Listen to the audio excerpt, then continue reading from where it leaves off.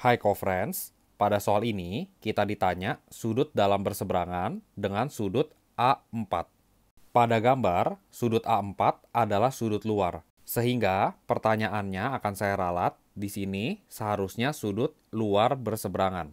Maka sudut luar berseberangan dengan sudut A4 adalah sudut B2.